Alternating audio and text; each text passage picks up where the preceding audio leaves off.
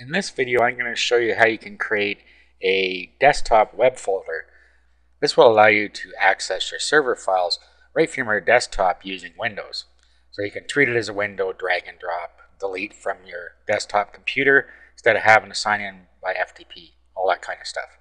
Okay, so the first thing you need to do is go to My Computer. Now what you want to do from here is map a network drive. Now what you want to do is come down here to where it says connect a website that you can use to store your documents and pictures. So click on that and click next. You want to choose a custom network location. Click next again. And here you can put the address to your domain. Now right at the end of it here, put colon 2077. That'll tell it what port it needs to connect to. Now click Next. And then you get a sign-in screen. So what you need to do here is have your login credentials for your web host. You just key them in here. You can click Remember My Password here. I'll just click OK. Now just click Next because we're all set up.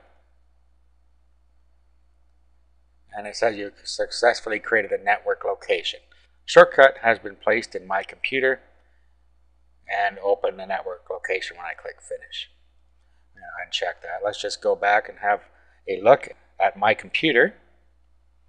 Okay, and as you see down at the bottom here is the one we just set up. So let's click on that. Okay, and here is our username and password. We clicked remember my password, so we can just click OK. And it brings up our folders for us that are on our site. Now, depending on where your web folders are, in a lot of computers, it's in public underscore HTML. So if we right click and do explore, it brings up the list of folders that and files that we have inside there. Now if we want to actually save something on our computer, instead of using FTP, we can just drag a file right into here, just like we do on our own Windows computer. If we're dragging from one folder to another, we just got to grab a hold of it and drag it in here.